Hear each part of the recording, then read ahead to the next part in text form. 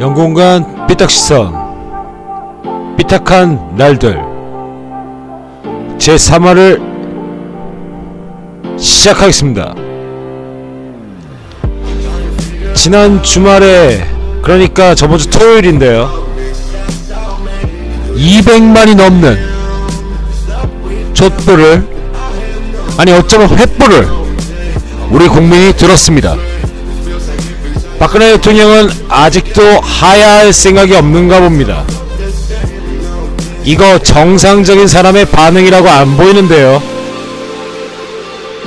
알아먹을 사람한테 말을 해야 될 텐데 이 정도면 소도 알아들었을 것 같다는 생각이 듭니다.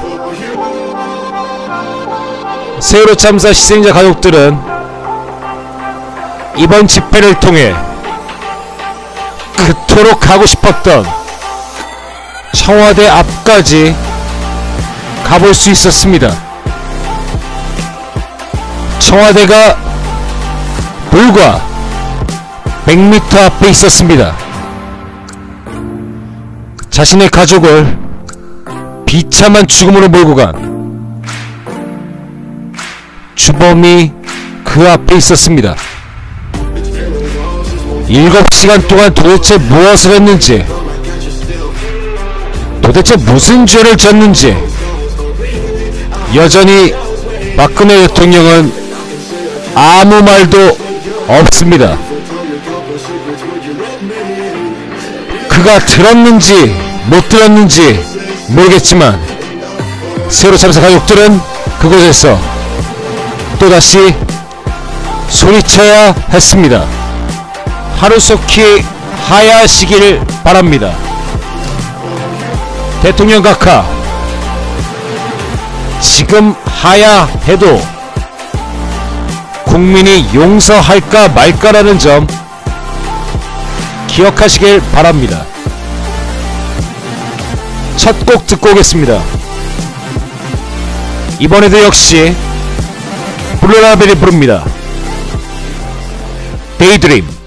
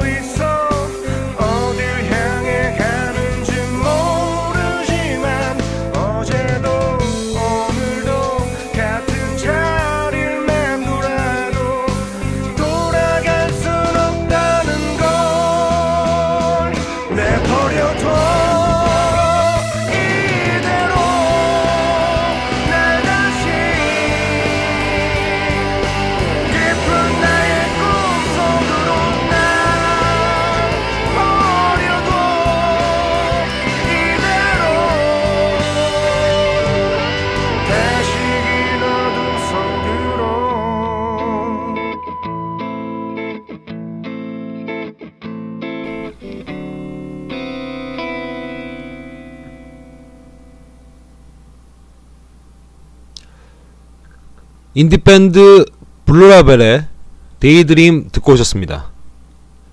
아, 이 곡은 언제 들어도 그리고 특히 밤에 들으면 참 좋은 노래죠. 보컬 이데이가 부르는 Daydream은 역시 뭐 night dream이기도 합니다. 물론 이런 꿈을 꾸는 사람들도 참 많죠. 참 어리석은 꿈 말입니다. 역사 교과서 국정화가 처음 발표됐을 때 사람들은 어쩌면 지금 우리 눈앞에 펼쳐진 현실을 정확히 예언했는지도 모르겠습니다. 아니, 모르겠다고 하는 것보다 확실하다고 말하는 게 더 좋겠군요. 역사 교과서 국정화 문제가 불거진 이후 드디어 2016년 연말이 돼서야 국정교과서가 어떤 모습을 하고 있는지가 공개됐습니다. 물론 처참한 상황이었습니다. 역사교과서 국정화를 밀어붙이고 대한민국 역사에 혼을 세우겠다고 했던 사람들이 정작 그러한 대통령의 명을 마다 국정교과서를 만든 사람들이 정작 태극기조차도 제대로 못 그리는 상황이 펼쳐지고 있습니다. 역사를 제대로 못 세울 거면 차라리 그나마 있던 역사마저 망치지 말아야 할 텐데 지금 우리 대통령 그리고 그 대통령 밑에서 여전히 떨어질 감을 기다리며 입을 쳐 벌리고 있는 정치인들 좀 가만히 좀 있었으면 좋겠습니다. 나쁜 사람들이 너무 많아서 고통스러운 대한민국.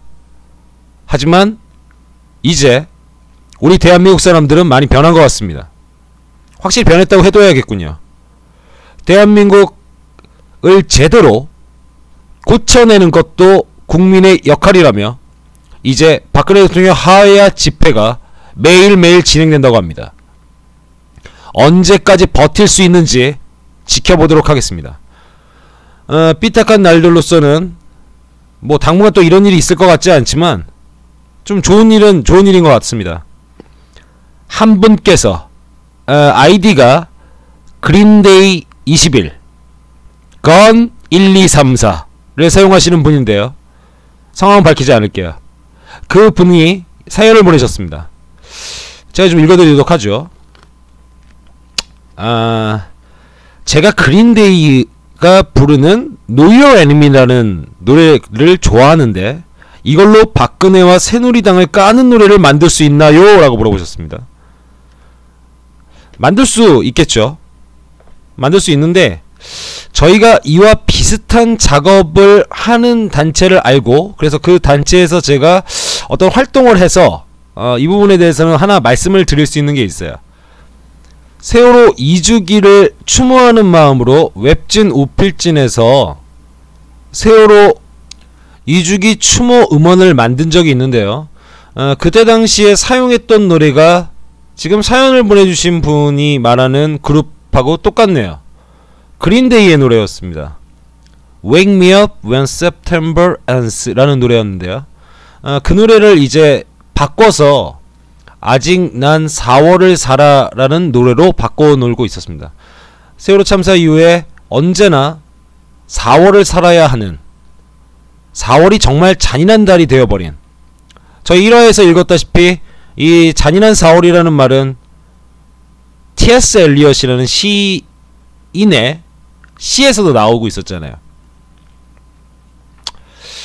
이걸 작업했을 당시에 대한 이야기를 제가 일단 아직 난 4월을 살아 그리고 이 노래 또한 블루라벨의 이데이 씨가 불러주셨습니다. 그 노래 먼저 듣고 제가 이에 대한 이야기를 계속 이어가겠습니다.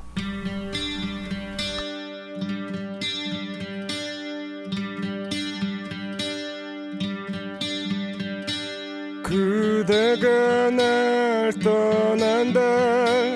그 미소를 잃은다 아직 난 4월을 살아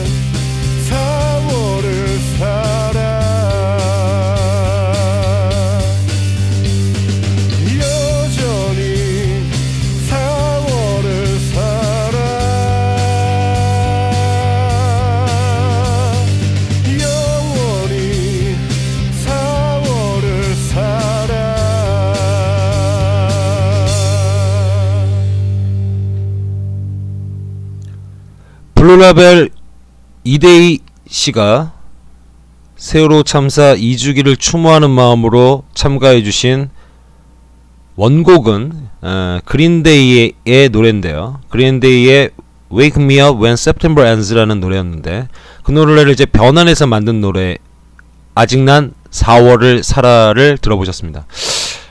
어, 지금 이 방송을 사연을 보내주신 그 한 분께서 듣고 계신지는 잘 모르겠지만요. 어, 이 노래를 만들 당시에 처음에는 되게 많이 망설였어요. 왜냐하면 저작권을 어떻게 받을 수 있을까를 고민하고 고민하는 그런 과정이 있었는데 일단 이 노래는 MR을 구할 수 있는 노래여서 좀 다행이었던 것 같습니다. 이 노래를 사용하는 것에 대해서 다행히 아, 다행히 이 음반을 내는 어떤 기획사나 이런 부분에서 제가 이메일로 좀 접촉을 좀 시도해서 몇 가지 허락을 좀 받았습니다. 아, 수익을 발생시키지 않는 선에서 그리고 함부로 어떤 공연이나 외부 환경에서 재생하지 않는다는 조건을 받아서 그걸 사용해도 괜찮다라는 얘기를 들을 수 있었습니다. 그래서 이 노래를 만들 수 있었는데 그렇다면 사연 보내주신 분의 대- 고민을 좀 생각해 보자면 충분히 가능한 얘기라고 보여지는데 하지만 저작권이라고 하는 문제를 피하기 위해서 당연히 원작자와 상의를 좀 하셔야 됩니다. 그린데이 홈페이지를 들어가셔서 이것저것 뒤지다 보면 어, 이 음원에 관련돼 있는 관계자 이메일을 만날 수 있어요. 그분하고 잘 연락을 하시면 됩니다. 그리고 웬만한 경우를 제외하고 음원을 사용했다고 해서 큰 재앙 같은 일이 사, 닥쳐서 일어나진 않아요. 일어나진 않으니까 잘 조심해서 사용하시기만 하면 될 것 같습니다. 그럼에도 어, 저희가 저번에 했던 것처럼 반드시 어, 원곡자에게 어, 문의를 해보시는 게 좋지 않을까라고 저는 생각을 전달을 드리고 싶습니다.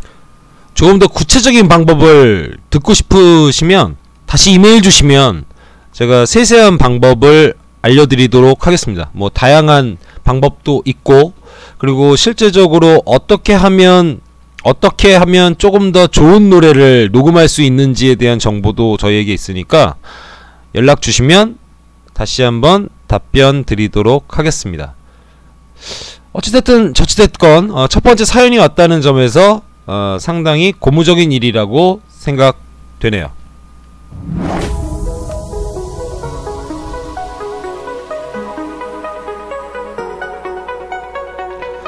너 이건 아니?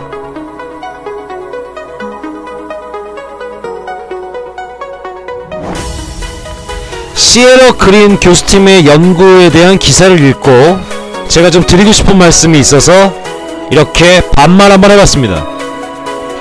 여러분들은 특정 분야에 대해서 얼마나 많이 알고 사시나요? 요즘에 매니아다, 오타쿠다, 뭐 이런 말들 참 많잖아요. 그러다 보니까 사람들이 그냥 개인인데도 한 분야에 정통한 경우들이 많습니다. 지식 많은 사람들, 지식인이니까 그냥 일반인이어도 참 멋있지 않나요? 하지만 아일랜드 더블린 국립대 시에러 그린 교수팀이 이끈 한 연구가 우리에게 어쩌면 위안을 주고 있을지 모르겠네요. 이 사람의 연구는 간단합니다. 많이 알수록 속이기도 쉽다. 많이 하는 사람이 잘못된 기억을 갖고 있는 경우도 많고 오히려 오류를 범하기도 쉽다는 내용이에요. 오류를 범한다. 그러니까 지식의 축적이 곧 오류의 감소를 의미하지 않는다는 말이네요. 이 말 요즘 세상에서 저참 공감하고 삽니다. 역사 교과서 만든다고 여기저기서 불러오신 우리 연구자 여러분 혹은 연구자라는 말을 붙이기가 참 안쓰러운 니네. 그 사람들 잘 보면 자기 분야에서 나름 지식 많은 사람들이잖아요. 그런데 그들이 만들어 놓은 거 보면 한심하기 짝이 없잖아요. 왜 그러고 사니?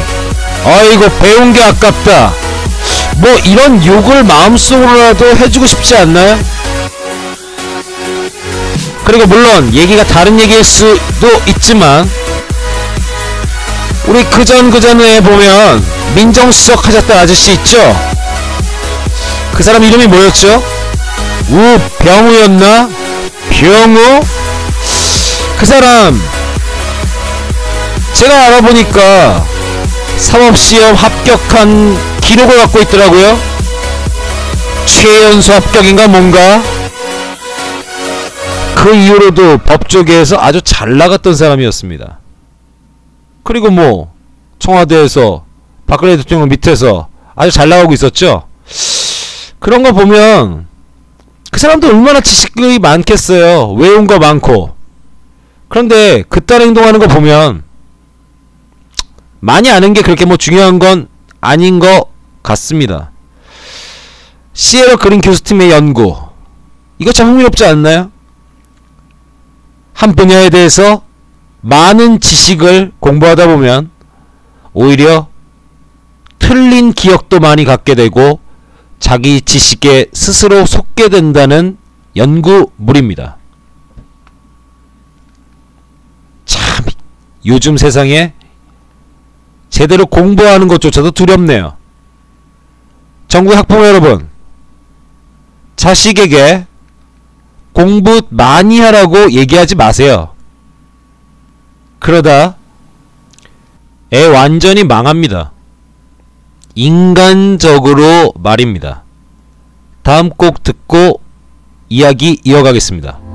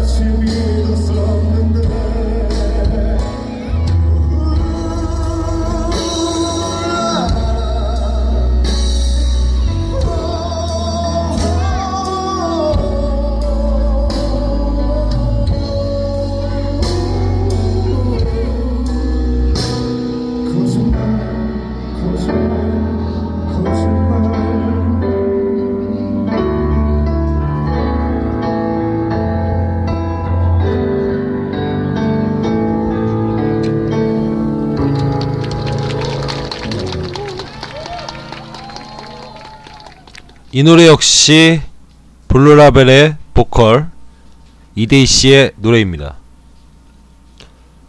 지난 8월에 어, 후이즈 팬텀 페스티벌이라는 행사가 있었는데요. 그 행사에서 이데이 씨가 이적의 거짓말, 거짓말, 거짓말을 아주 잘 불러주셨습니다. 거짓말. 이 말을 들으면 아마도 대한민국에서 청와대에 계신 그분은 가슴팍이 이리저리 찔리실 거라고 생각합니다.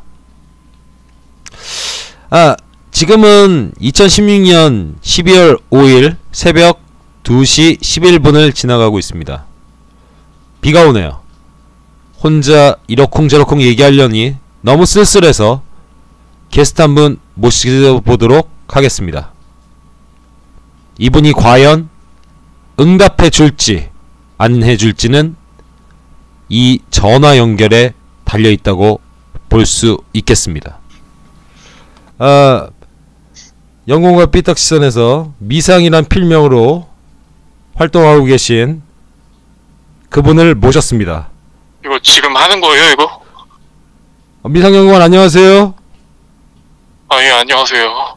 아 이렇게 전화 통화로 정말 오랜만에 만났네요.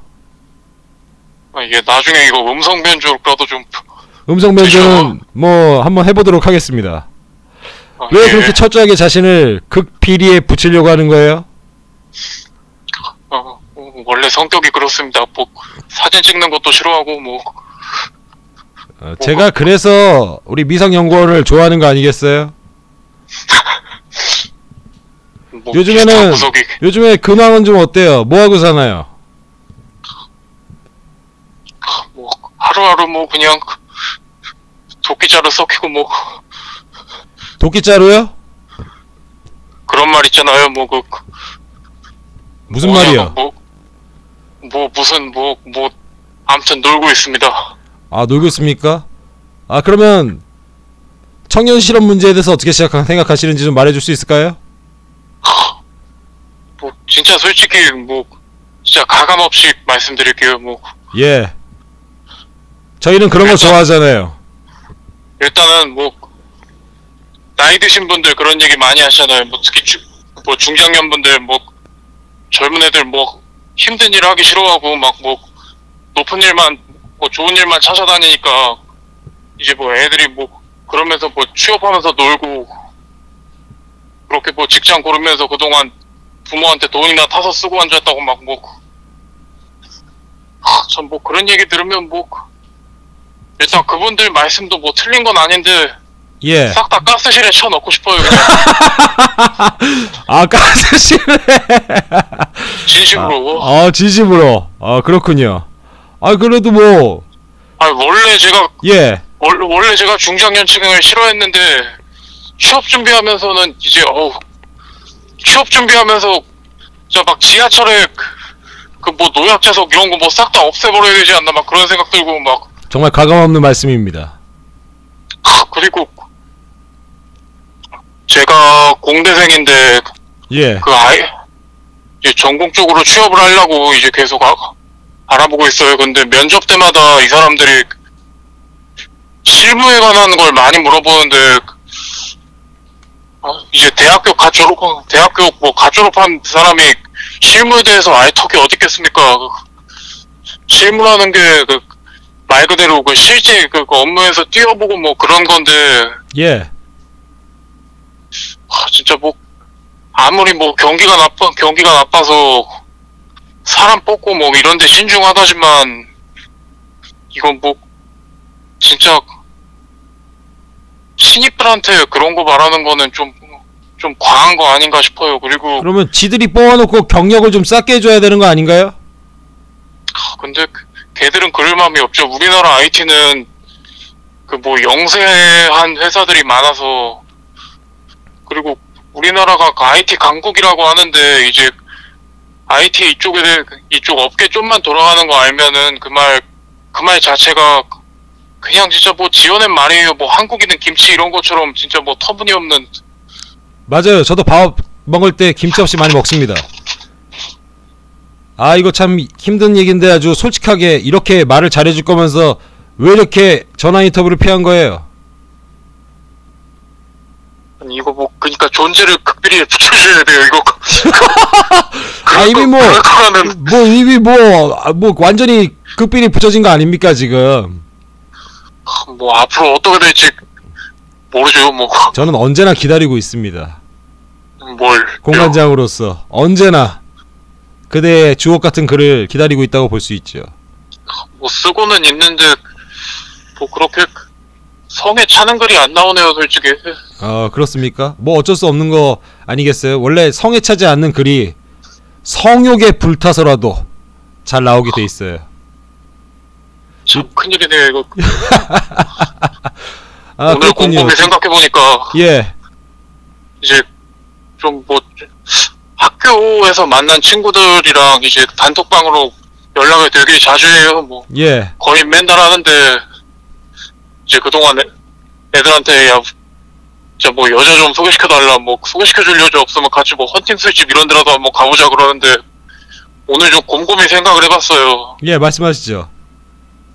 오늘 곰곰이 생각해봤는데 아 이제 연애는 이제 이제 뭐 더는 관심 같은 것도 안 가고 뭐 그런데 그 와중에도 성욕은 식지 않아서 이거 참 아, 정말 삼포 세대라는 말을 절감하고 사는 겁니까? 진짜 예, 그 말이 그 말이 되게 좀 그전에는 막 자조적이고 막 아, 포기를 하니까 니들이 안 되지 막 이런 식으로 생각했었는데 안 되다 보니까 포기할 수밖에 없는 것 같아요. 그 전에 제가 지금 지금 이제 서른이니까 서른에 신입이면은 이제 신입치고는 좀 늦은 편인데 이제 뭐 늦어도 뭐 그래 뭐 열심히 하고 뭐 경력 쌓아서 이제 잘 살면 되지 않나 싶은데 일단은 지금 신입 취업도 되게 안 되고 있고 여기 일하시는 분들 얘기를 들어봐도 뭐 이제 뭐 마흔 넘어서는 이제 뭐 몸값을 올리면 되는데 문제는 또 몸값이 올라가면 몸값 비싸다고 쓰지를 않는데요 또 이거 뭐 어쩌라는 겁니까? 이겁니까? 취업하는 거 정말. 뭐 저때 웃기는 거 진짜 뭐 웃기는 얘기 같지만 이거 실제로 음. 이쪽 일 하시는 분들이 하시는 얘기가 그거예요. 뭐 몸, 몸값이 올라가면 좋은데 이제 몸값이 비싸지면은 뭐 안 쓴다고. 그럼 나름 몸값이 올라갔다는 게 그래도 그 분야에서 전문가가 된다는 거 아닌가요? IT는 좀 이제 급이 되는 사람들이 세고 셌어요. 이거 제 거 아니에요. 갖고 가셔도 돼요. 아, 이거 지금 뭐 편의점 편의점 그 뭐 의자 앉아 있는데 이거 뭐, 뭐, 뭘 갖고 갔습니까? 옆에 있는 사람이.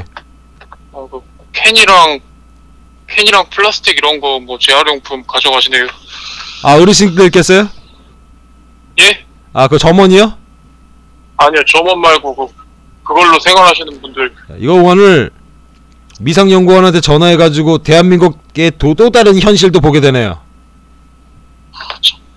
심각하죠. 아, 이거 다, 이, 그, 청와대에 있는 아줌마가 하에 안에서 그런 거라고 생각하기에는 너무 문제가 큰 것 같아요. 그 전에는 저도 뭐 이제 뭐 저- 정치 같은 거 관심 가지고 그런 사람들 보면은 뭐 어차피 뭐 내 한표로 뭐 세상이 바뀌어요 솔직히 죽어도 안 바뀌거든요. 근데 그- 저 같은 사람들이 많으니까 이제 이 지경까지 오지 않았나 싶기도 하고 아이, 뭐 그런 말을 합니까? 그렇지 않아요?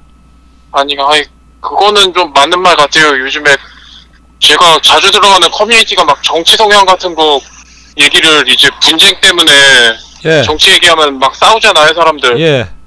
그래가지고 그런 얘기를 되게 피하는데 거기서 그런 얘기가 되게 자주 나오더라고요. 이제 사람들이 되게 외면해 외면하고 그랬으니까 여기까지 왔다고. 뭐. 음.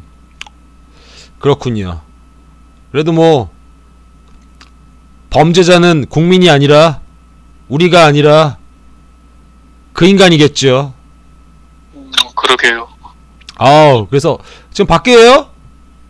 예, 통화하려고 나왔어요 지금. 집에서 통화는 못 합니까? 어, 지금 뭐 밥 먹는 것도 눈치 보이는 처지라 지금. 아이고, 빨리 좋은 일이 있어야, 그 종로에서, 얻어먹을 텐데요. 좋은 일이 있으면 제가 사는 거고 얻어먹는 건 이제 지금 같이 이제 전시 상황에 전시 상황은 제가 책임지겠습니다. 그리고 우리 이제 10월 달 정도 12월 이제 됐으니까 예. 어, 그 정도 해가지고 한번 만나려고 그러는데 나올 수 있겠어요? 아, 예, 뭐, 하는 게, 하는 게 없으니까 그런 데라도 좀 나가고 해요. 어. 근데 안타까운 현실은 어, 저는 남자예요. 아, 아, 괜찮아요. 안, 제가 옛날에 아니어도 제가 뭐, 한번 저- 승질 내 가지고 여자 연구원이 한 명 나갔잖아요. 그때 참 아, 그러지 말라고 그러지 말라고 우리 미상 연구원이 그랬는데 아, 그때 제가 좀 일찍 알았으면 어떻게 좀,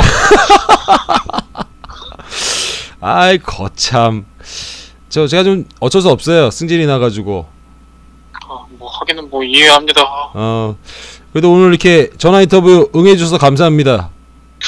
생각해보니까 저는 글 쓰는 것보다 이게, 이게 더 나은 것 같아요. 어 또 글도 기다리고 있을 테니까 그리고 가끔 또 좋은 아이템이 있고 그러면 직접 만나지 못하라도 우리 이렇게라도 만납시다. 어, 예, 뭐, 근데 인터뷰 이거 조회수는 좀 나오던가요? 조회수가 뭐가 나오겠어요? 지금 1화가 1화하고 2화가 아직 50 조회수가 안 나왔어요. 현실적이네요, 너무. 더 열심히 해야죠. 우리는 항상 조회수 100만 보고 갑니다. 제가 살면 살, 살수록 느끼는 건데, 음. 노력이 다가 아니에요. 좀만 더 도와주세요. 도와주면 됩니다. 노력보다는 그 편법과 치밀하게 짜여진 그 뭐 뭐라 그러지 그거를 전략 같은 거? 아, 그놈의 전략이 없어요. 그 전략도 좀 같이 마련해 주는데 머리를 좀 맞대 주세요. 아 뭐 집에서 쓸데없이 짱구만 굴려서 그 얘기는 좀 할 리가 있습니다만 오케이. 아, 그러면 다음에 만나거나 다음에 전화 연구 전화 인터뷰 시도하게 되면 그런 예. 말을 좀 해주세요. 아 이거 하다 보니까 재밌는데요 이거 아 재밌죠 나름. 아 저도 오늘 너무 진솔한 얘기도 많이 듣고 이거 전화하기 아니, 요즘- 잘했다. 아니 제가 요즘에 그- 뭐 알다시피 백수 생활 뭐 생각보다 백수 생활을 좀 깊이 있게 해본 사람이 없어요 보면은 항상 모든 것을 성찰하며 철학적으로 하는 사람이지 않습니까? 뭐 또 그렇게 얘기해 주시면 뭐 근데, 그- 근데 백수 생활 하면은 이제 제일 큰 문제가 자본주의 사회 아닙니까 지금 아 맞죠? 돈이 제일 큰 문제예요. 아 당연합니다. 저뭐 밖에 나가서 멍 때리려고 해도 뭐 카페라도 들어가야 되는데 요즘 커피값이 뭐 국밥값이랑 맞먹잖아요 또. 그런 커피만 좋아하잖아요. 우리가 또 된장남이라. 어, 아이 저는 지- 저는 커피 자체를 뭐 그냥 아직까지 뭐 그냥 쓴물 그 이 그 이하 그 이상도 아니고 아유. 근데 아무튼 뭐 카페에 커피 마시려고 가는 게 아니잖아요. 이제 뭐 가가지고 이제 비도 좀 피하고 뭐 맘 편히 좀 앉아 있고 그럼요, 그럼요. 그리고 이제 주변에 여자도 좀 보고. 아, 네, 뭐, 근데, 쳐다만 봐서, 아, 아무튼, 뭐. 아무튼, 근데, 백수 생활하면 제일 문제가 돈이 없으니까 모든 게 끊겨요. 특히, 사람, 사람을 만날 수가 없어요. 사람 만나는데도 돈 드니까. 어, 내가 다음에 만나면 오늘 인터뷰한 거에 대한 대가로서 맛있는 거 한번 쏘겠습니다. 어, 뭐, 매번 사주시는데 저야 감사하죠. 어, 그때 어쨌든 간에 우리 그 공간 부장이라고 그 게임 영상도 올리고 그러는 친구 있는데 아, 예, 그분, 예, 어, 그. 친구가 이름을 지었어요. 문학인의 밤이라고.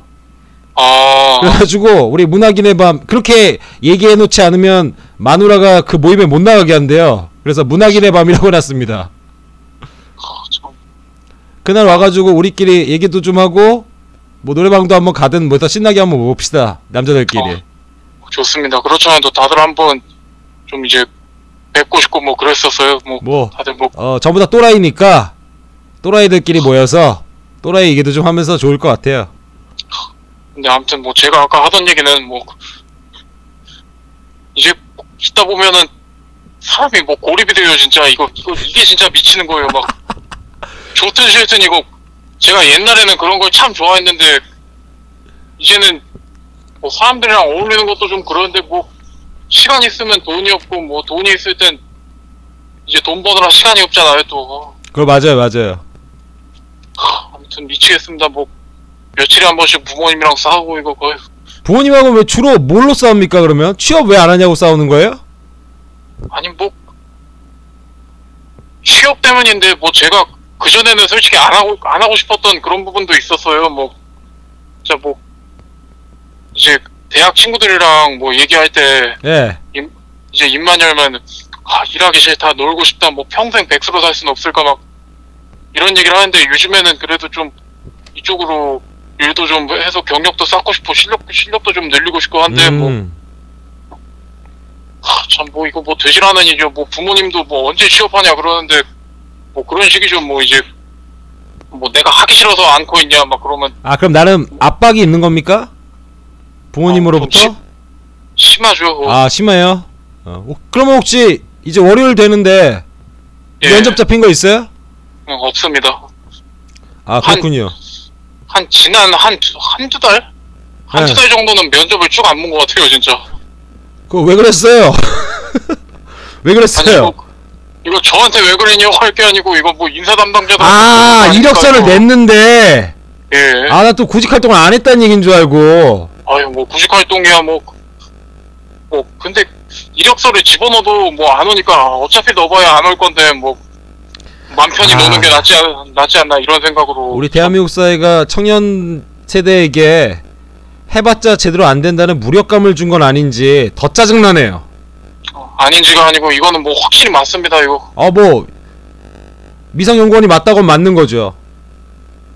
그니까 이거 뭐 전부 뭐그 노인정에 있는 분들이랑 이제 뭐 그냥 꼰대를 또 그렇게 싫어해요 막 그런 분들 전부 다 예 맞아요 맞아. 뭐 독일인들이 일찍이 일찍이 가스실에 우수성을 보이지 않았습니까? 아 정말 지금 이렇게 하는 말들이 어 얼마나 지금 현실이 힘든지를 보여주는 것 같아서 웃음이 나오는데 이 웃음이 헛웃음입니다 정말. 진짜 대한 제가 진짜 깊이 고민을 해봤는데 대한민국의 미래는 가스실에 있어요 이제. 아 이거 나름 명언이네요. 우리 그 삐딱 시선에 보면 명언 예. 쓰는 코너도 있는데 명언도 몇 번 써주세요. 어 이게 뭐 고려를 좀 해볼게요. 어 그렇게 해서 하면 되고 철저히 자신의 신분을 노출시키지 않도록 노출되지 않도록 어 공간장으로서 힘을 좀 낼 테니까 이거 뭐 목소리가 이거 뭐 다 나갈 텐데 이거 목소리만 나가는데 그럼 평소에 음성 변조를 하고 다니세요. 아참 그럼 헬륨가스 살 돈이 없습니다. 아 이거 헬륨가스 그냥 평소에 목소리를 음성 변조하고 이 목소 그러면 이 목소리를 알아듣는 사람이 있다면 그것도 참 대단한 사람이니까 그 사람은 정말 잘해주세요. 그 전국에 몇 명이나 듣겠어요. 몇 명이나 듣는데 이 사람이 그걸 미상연구원 목소리 알아들은 그 미상연구원인데 어, 당신 미상 이러면 그 사람 또 막 매장 시키려고 난리 치는 거 아니에요? 아 전부. 매장 시키려고 하면 뭐 어휴, 매장 시키는 것도 돈 들어서 힘들긴 한데 아 우리 오늘 옛날에 했던 밤에 밤새 우리가 얘기했던 어 우리 벌써 18분이나 인터뷰를 했네요. 아 뭐 지금 전화 끊어봐야 뭐 어차피 잠도 안 오고. 아, 아, 아 이거 어 저 집 방송 시간이 있어서 요거 네. 하고 내가 바로 전화할게요 생방송입니까? 아 이거 이거 생방송까지는 아니고 이제 녹화인데 요거 하고 아, 좀- 내가 방송 정리하고 전화드리겠습니다 아저 마지막으로 하고 싶은 말이 있습니다. 이게 마지막 얘기, 중요한 얘기입니다 해보시죠. 대한민국 대한민국 백수 여러분들 주변에서 압박 많이 할 텐데 뭐 어쩌겠습니까? 세상이 이렇게 굴러가는 거. 짜증 나면 짜증 내고 뭐, 뭐 부모님이고 뭐고 뭐라고 하면은 뭐, 뭐 말이 좋아서 부모님이 뭐 까놓고 까놓고 보면은 냉정하게 놓고 보면 뭐 남남이에요 뭐 사소한 돈으로 갈라질 수도 있는 뭐 그런 관계고. 그니까 여러분들 좋을 대로 하세요. 그거 뭐 본인의 욕망에 충실해라. 아, 악강이 한 말입니다. 뭐, 뭐, 도, 뭐, 도덕적으로 뭐, 그런, 뭐, 도덕적으로 뭐, 그런 것도 중요한데, 진짜 그만큼 의미 없는 게 없어요, 진짜. 아, 오늘 완전히 삐딱한 날들의 미상연구원의 힘이 매우 컸습니다. 아, 뭐, 대한민국 백수 여러분들, 주변 환경에 맞춰주지 말고, 주변, 주변 환경을 본인에게 맞추도록 하세요. 지금 그렇게 해서 잔소리가 한, 거짓말 안 치고 10분의 1로는 줄어든 것 같아요. 뭐 그만큼 부모님 속은 타겠지만, 부모님 속이 안 타면 제 속이 타거든요. 그렇습니다. 부모님 속은 안타깝지만 내 속은 아니니까. 아, 그 어, 나중에 부모님- 또그 잘 정리해드리면 되는 거 아니에요? 아, 뭐 정내미가 다 떨어져서 뭐 나중에 그런 마음이 들지가 의문입니다 지금. 아, 그렇군요. 아, 우리, 뭐 예, 약간의 과장이 보태지긴 했는데 예. 뭐 반은 진실이고 뭐, 뭐 나머지 반도 거의 진심 같네요 근데. 아, 그렇군요. 우리 대통령은 순실이에요. 음, 알겠습니다. 웃어주지도 않는 대한민국의 가장 슬픈 청년 하나, 한 분과 이렇게 얘기를 나눴습니다. 다음에 또 전화할게요. 아 네.